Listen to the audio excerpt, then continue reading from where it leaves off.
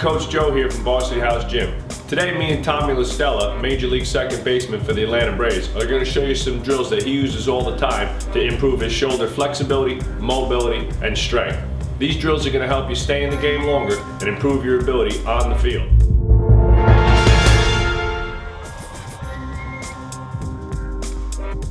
One of the key areas that's fundamental for all throwers is tissue quality, specific to the shoulder girdle and throwing on. We're gonna show you a bunch of drills that we use to improve tissue quality. And what I mean is the elasticity of the muscles. Deep tissue work, tissue work, self myofascial release, foam rolling, lax ball, okay, and different types of cross-frictional work to help improve the elasticity, lengthening, and flexibility of the muscles pre and post workout. Here we go. First drill we're gonna do here is just a little bit for thoracic mobility. Tommy's gonna lay on top of the roller and he's gonna he's gonna flex upward and, and open up his, his thoracic spine and then extend backwards over the roller and just that's it. And just thoracic spine extension, flexion, and just trying to get a little mobility in that spine, open up. That's it. And you want to do about eight to ten reps of these Just open up that spine, good. That's it. I like to hit at the end, we do two more. Good, last one. At the end, I like to roll it out a little bit. I'll just kind of roll out my diamond a little bit, keep my hands up behind my head. That's it. Just roll that roll that area out and get a little tissue work in there as I'm going through my movement. Next soft tissue drill we're going to do here with the foam roller is for his lats and his rotator cuffs in the back of the arm. He's going to lay on top of it, get it right underneath his lats. You're going to keep your thumb pointing straight up, and he's going to roll back. If we're going to use the roller, kind of grind out his lats a little bit in here, help improve that extension of the arm and his ability to rotate his arm back when he throws. Okay. This all, again, all, all of this is to help improve the rotation of the thoracic spine and opening that ability to be able to, whether it's swinging his bat or, or throwing from second base. Good. And then hit the rotator cuff. He's going to just kind of get the roller underneath the armpit a little bit, palm up, okay? And again, just small movement, back and forth over the roller, okay? Grinding out that tissue a little bit, improving that tissue quality, removing some of the inflammation, removing some of the scar tissue, and, uh, and just getting a little bit better quality movement in there, okay? And, and, it just generally feels good. It helps, you know, work out some of the kinks if you've been throwing a lot, hitting a lot, a lot of practices. The next drill we're going to do using the lax ball, work on the tissue on the front side, the anterior side of the shoulder girdle. Rolling out the pec a little bit, the anterior deltoid. You can just do it a little bit on yourself, and then we use the wall for a little bit more pressure to get a little deeper into that tissue.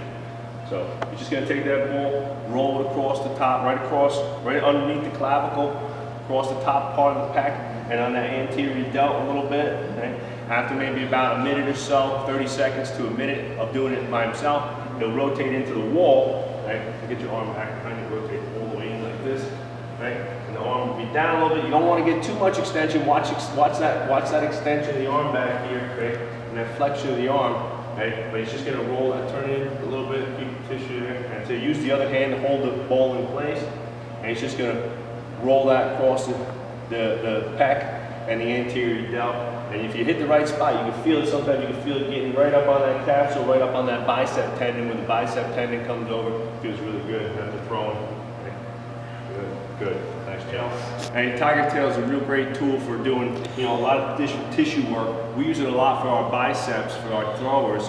But you can also use a 45 pound bar that's in the racks and you just use the, the end of the roller as, as the same technique that we're going to show you here.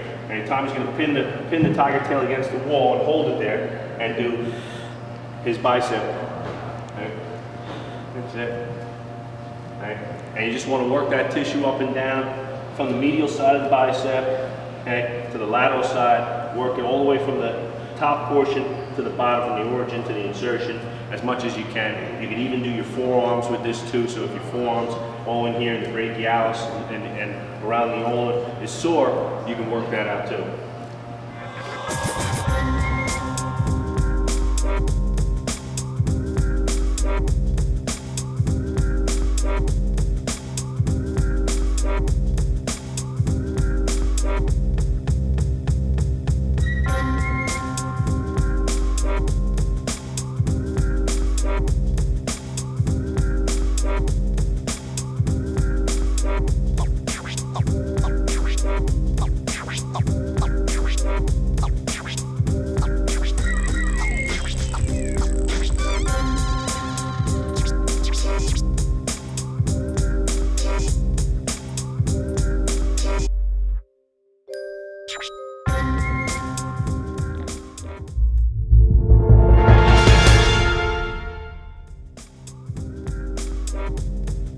Now we're gonna show you our shoulder mobility warm-up.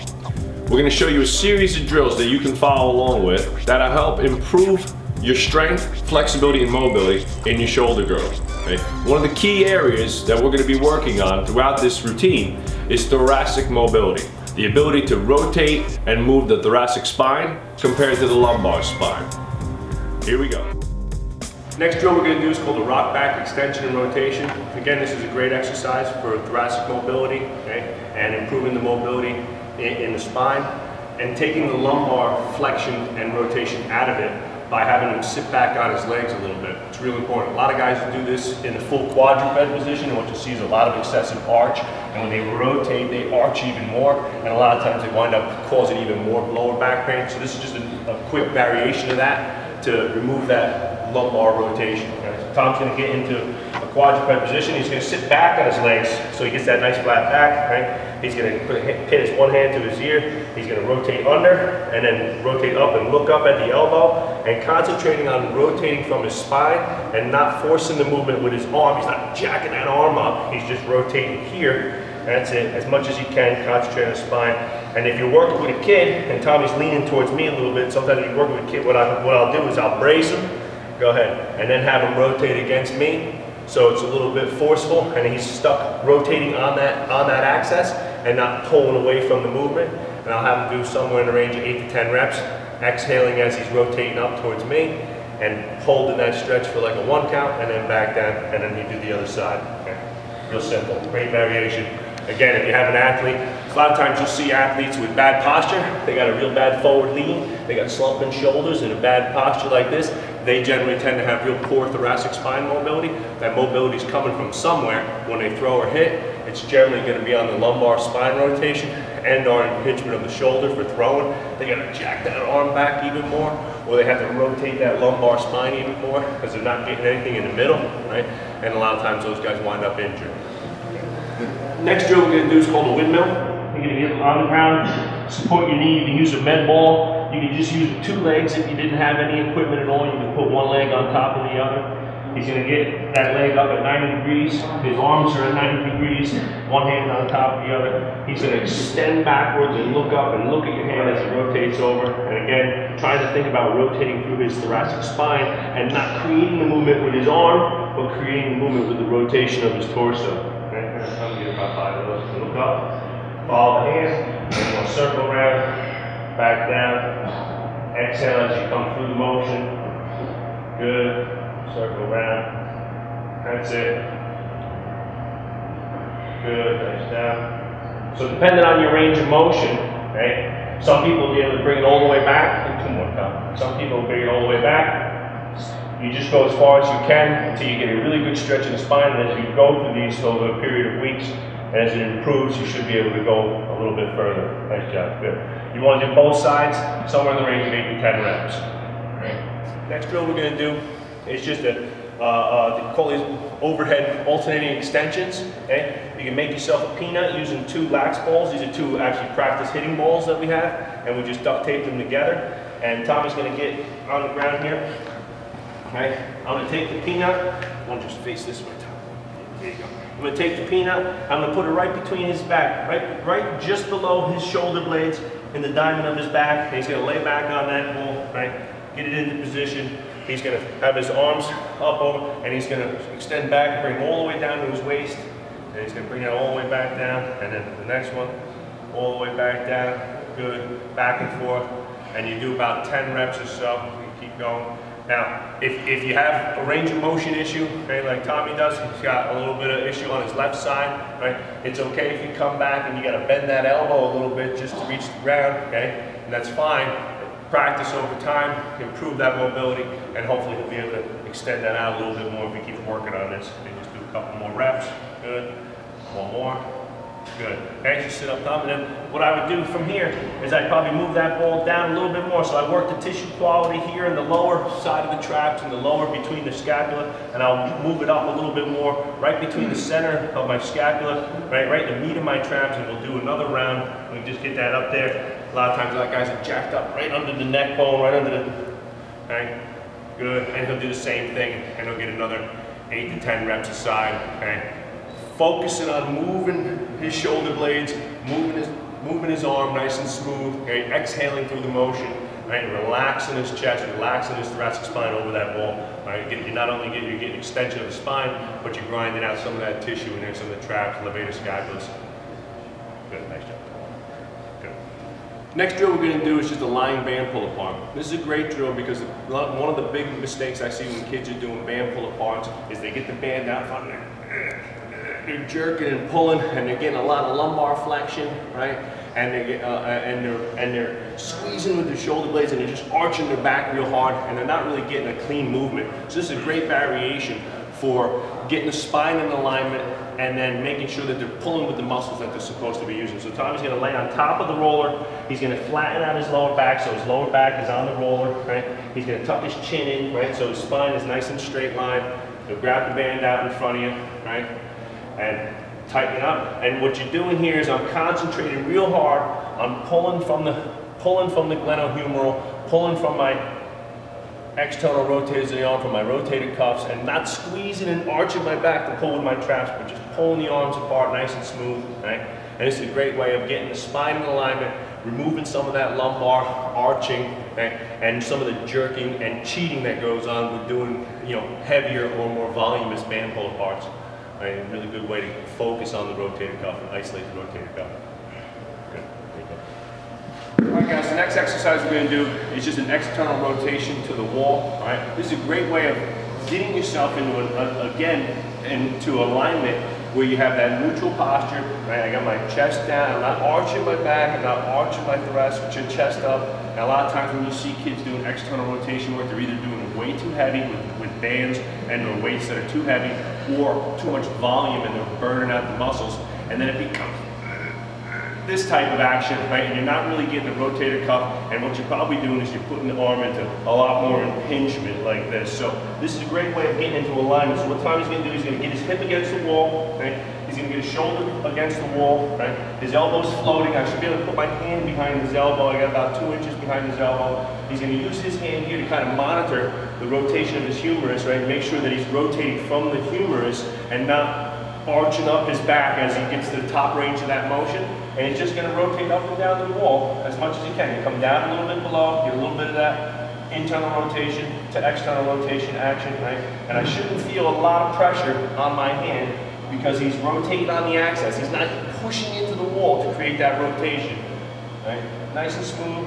I'll do maybe 10 or so, 15 sometimes, depending on the kid, if they need a little bit more range of motion.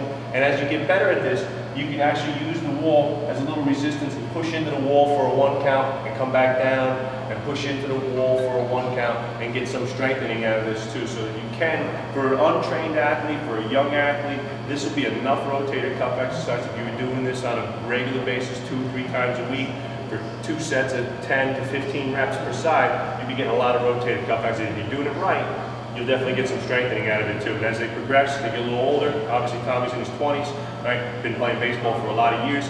You could use some resistance work. You can even add a band to that. But as a mobility drill, as a warm-up drill, I would still do it with no weight and then add weight later on, add some resistance later on if we were doing it as a strength exercise, maybe as a filler in between some of the strength exercises. So the next exercise we're going to do is just a prone, okay, uh, uh, uh shoulder extension, okay, a prone, prone arm extension, right? And what I see most of the time is guys doing YTW circuits, and they're doing them in a set, they're doing a lot of volume, and they're burning out the stabilization muscles, they're burning out the small muscles in, in lieu of fatigue, and it winds up becoming either a, a motion with a lot of momentum or using the wrong musculature. So this is a great way of, again, isolating the muscle that I'm trying to work and, and working on specific aspects for Tom, for a guy who's uh, pretty far ahead in the process of baseball, it's really about making sure that he's healthy and making sure that the musculature that he's overworking while he's playing is getting some quality work. So I want to make sure when I do this exercise that I'm using my scapula and I'm creating the movement by pulling my scapula, pulling my traps over, and not just arming the movement like this, creating more impingement here in the glenohumeral. I want to lift with the scapula right? And bring that arm out, and it's going to come out. He's going to have his thumb up, right? And it's just going to come out in a nice angle, maybe about, uh, about 135 degrees or so, and nice smooth, pulling from here, pulling from that trap, and do a couple reps when you come. That's it. And lift, good, That's it. You want to lift right here. That's it. Don't let that arm come out. Lift. Good. And pull from your scapula. Up. Good. Up. That's it. Pull it over. That's it. Concentrate on getting that. There you know, That little shrug action going. Good. One more. Last one. Up. Good, nice job, nice job. So you, you can, this is a good exercise if you have a table. If you don't have a table, uh, I don't recommend doing the full extension version on the ground. A lot of times you'll see guys getting down on the ground and they'll get their head down and they're doing this. Problem is I'm already in full extension. A lot of times I'm already getting in impingement. Most of the kids that we have do whatever, whatever it is, like a gym class, like a play like we used to have when I was a kid. Uh, kids just seem to be tighter tissue-wise nowadays and have less range of motion than they used to. And uh, we get a lot of kids that get down in this position. They're, they're totally jacked up already. So to try and get them to do more extension is actually just causing more harm than good. So there's a quick variation that you can do on the ground. You can do this on the field. So Tom, Tom's just gonna get down on the ground. He's gonna have his arms folded under, under his face, right? Chin up a little bit, Tom, right? And he's gonna get those arms. You don't wanna have them tucked in too far. You just want a nice tight elbow. And he's just gonna lift those elbows off the ground using his traps and squeeze come back down, use his traps and squeeze, come back down, use his traps and squeeze, you get a couple more reps. And this is great because what I've done here by bending the elbow is I've taken a lot of that extension out of the, out of the arm, I've taken a lot of that impingement out of here, and now I'm creating movement here, right, instead of here, right? I'm, I'm, I'm lessening that glenohumeral extension and impingement, and um, focusing more on the traps and the muscles that I'm trying to strengthen.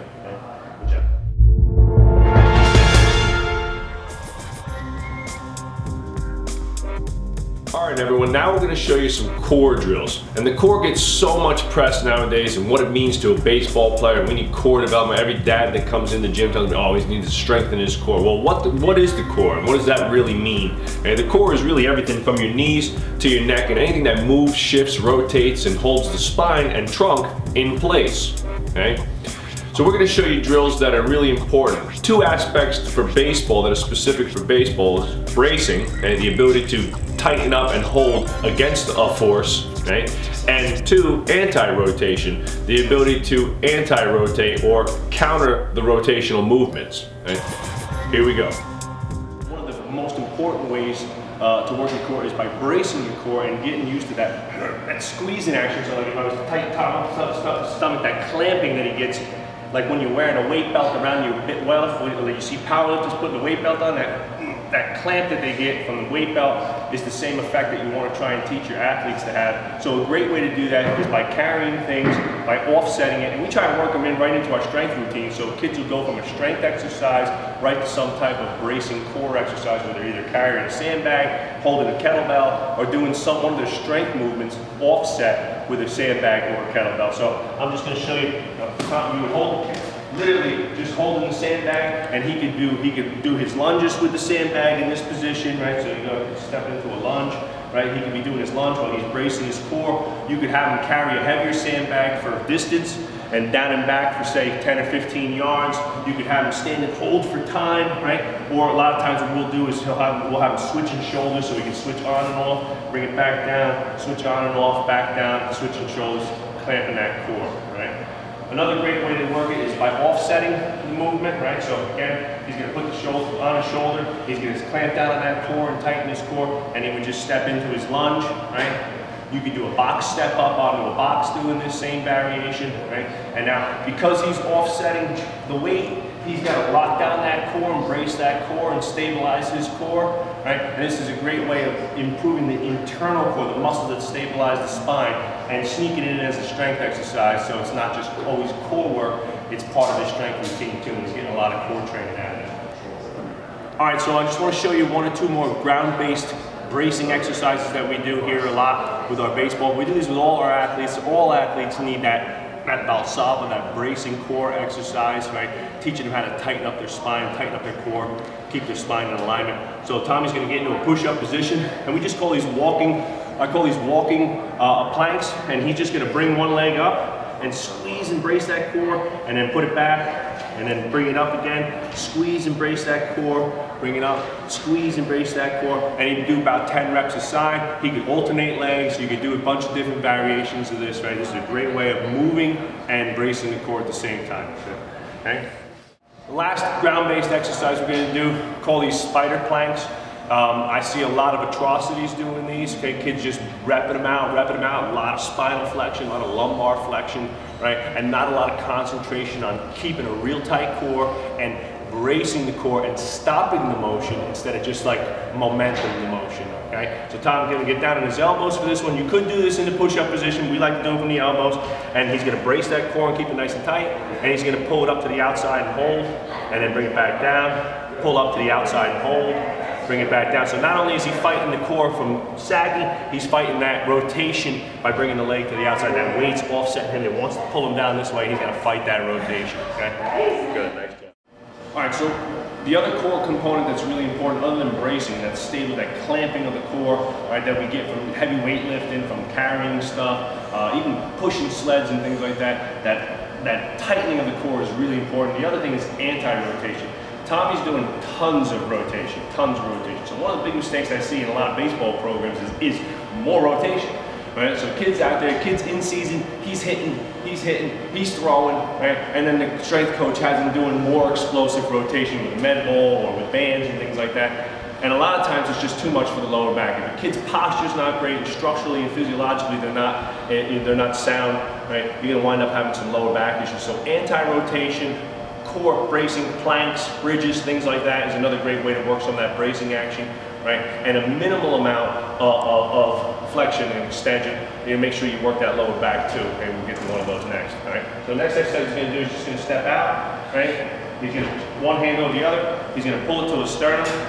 He's going to sit down, make sure everything's nice and in line, and he's going to extend his arms out and hold that brace position nice and tight, and he'll hold that for time. A lot of times we'll do like a 10 second count, nine, eight, seven, six. He would hold that and then switch and do the other side, rotate the other way, and hit the other side, do both sides, counter rotation.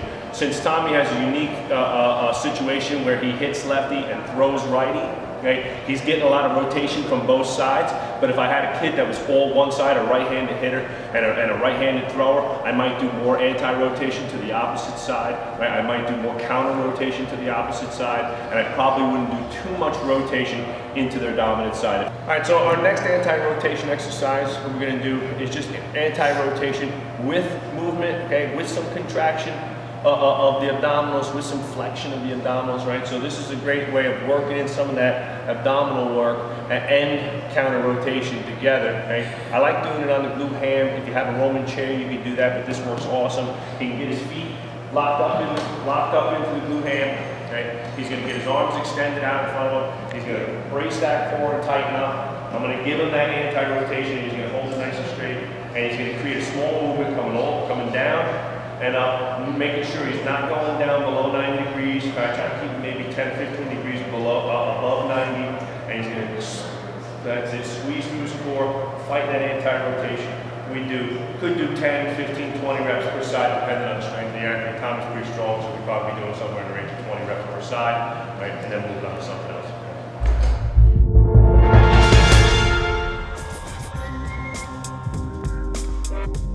Okay everyone, in this last segment, we're gonna show you a bunch of drills not to do. These are the drills that I see high school kids, college kids, and even coaches doing all the time on the field during training sessions, between throwing and so forth. Some of these drills put your shoulder in precarious situations. They impinge the shoulder joint, they impinge the humerus onto the acromion, and they can actually cause rotator cuff, labral tears, and so forth. These are some of the drills not to do.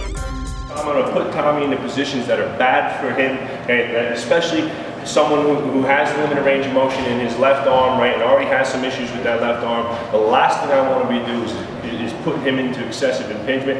I see every every baseball team I've worked with, every baseball kid I work with, when they come into our gym, they're waiting for me to get to them. They're, they're, they may be foam roll for like two seconds, and I see them stretching and pulling on their shoulders and pulling on their arms. So I'm going to show you three common things that I see with baseball players that you should not do at all. And the first one's going to be this this winging the arm. A lot of guys are getting into position and they'll force themselves down into a bad position, pinching that shoulder, right? Putting too much pressure on the shoulder. A lot of times the head of the humerus is pushing through anteriorly, bulging out that anterior capsule, or I literally, I'm touching the glenohumeral, right? The acromion from my scapula is getting pounded on, right? I'm crushing the bursa in between there, creating a lot of impingement, a lot of tissue, a lot of nerves in there that get damaged stuff. That's no good, right? Don't do that, okay?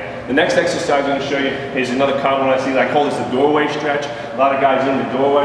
Tom's going to get that arm up, right? Now you guys see guys like this, same thing, same principle, right? I'm, I'm, he thinks he's stretching his chest. I'm getting a warm up, right? And he is. He's stretching that chest muscle out and he's stretching the anterior capsule. That's not what you want.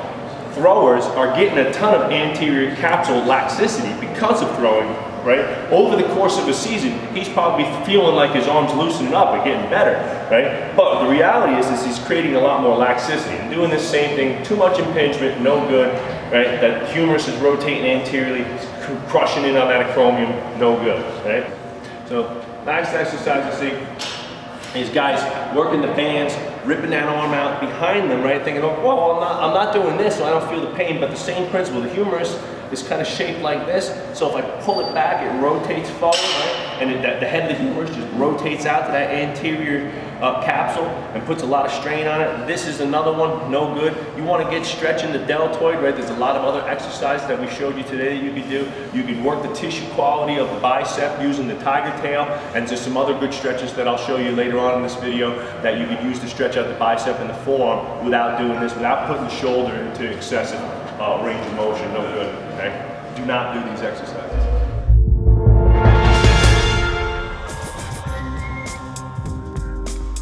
All right, guys, so we showed you some of the drills not to do and some of the things that I think are counterintuitive for baseball players because of the impingement of the shoulder, because of the uh, overuse injuries that most baseball players incur.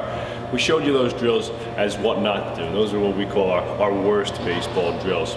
Next set of drills we're going to do, I'm going to show you some drills that are that you can do if you want to get a little bit of a static stretch and you want to warm up, let's say as part of your pre-game warm-up, okay? Some guys like the static stretch, I static stretch. Static stretching is okay, there is a place for it, it's not a problem, but there's some drills that you can do that are more appropriate for your shoulders, for your biceps, and for throwers specifically. So the first drill we're going to do is just some wrist and forearm flexibility. Really simple. I'm just gonna extend my arm and I wanna put a little bit of pressure and extend and pull. I'm trying to stretch out all the forearm muscles on the top of the forearm, okay? And just get a good stretch. And I would alternate arms, extending the elbow out, and I'm gonna do maybe about 10 or so reps per arm, right? Holding that position, placing a little bit of pressure. No, you don't wanna push too hard. I wanna extend the elbow, lift, and hold, right? Now we showed you a couple of our worst drills and what not to do, and that was one of our doorway stretches and our, our wishbone stretch like this, and those are the drills we don't want to do, okay? So I'm gonna show you two drills that you can do that'll stretch those same muscle groups, but don't put the impingement on your shoulders. First off, okay, I'm gonna get inside the rack. You could do this in a doorway as well. And I'm gonna get my hands below my shoulder level, so right around waist level. And I'm gonna step out and I'm gonna kind of puff my chest up and push through, and I'm getting a great stretch in my pecs and biceps, okay, just from this alone, right? And I'm gonna step through and hold, I'll come back, okay? I'll step through again, chest up, chest up. The more I push my chest up, the more stretch I'm getting, the more I feel it radiating down through my chest, pecs, and bicep, right? And this is a great stretch, and zero shoulder impingement. I'm not impinging the shoulder, I'm not in risk of hurting my shoulder, okay? I'm not protruding the humerus through the anterior capsule, and I'm not impinging on the, uh, on the acromion at all, okay? The next exercise we're gonna show you is a lat stretch, okay? So a lot of guys doing this wing stretch, okay? Doing this stretch, they're trying to stretch the lats. I see guys hanging from the hanging from the push pull-up bars all the time, okay, trying to stretch all, all the lat muscles out. So here I'm gonna show you a, the proper way to stretch your lat, specific for throwers, so that you don't injure yourself. I'm gonna line myself up with the rack. You can, again, you could use a doorway, okay? You can just use an open doorway, something that you can grab a hold of. I'm gonna get into a squat position, I'm gonna turn my hand over, and I'm just gonna lean back and pull, nice and light, Okay, getting a great stretch right now. I feel a great lat stretch. I'm kind of, as I pull back, I'm kind of leaning over to that left arm a little bit. I'm getting a great stretch in my lat. I can feel everything pulling nice. I'm gonna hold for a couple seconds, rotate and switch, palm down, pull and kind of lean in a little bit. I do about 10 or 15 of those per side, along with the, the step through pec stretch, shoulder stretch. I do about 10 or 15 of those, 10 or 15 lat stretches aside, do my wrist and forearm work, and that's a great static stretching additive to your mobility flexibility routine.